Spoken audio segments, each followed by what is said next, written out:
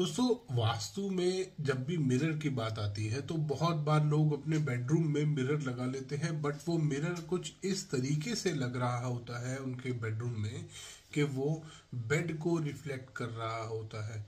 दोस्तों, ये वास्तुशास्त्र के अनुसार काफ़ी हानिकारक होता है।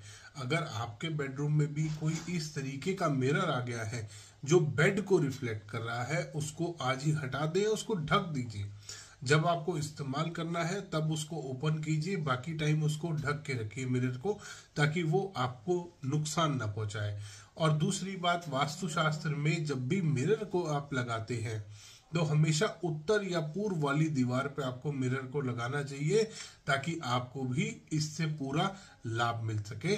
मिरर की पोजीशनिंग वास्तु शास्त्र में बहुत ज़्यादा मायने रखती है, बहुत ज़्यादा इंपॉर्टेंस रखती है। तो इसको स्पेशली आप ध्यान रखेंगे कि मिरर आपका उत्तर या पूर्व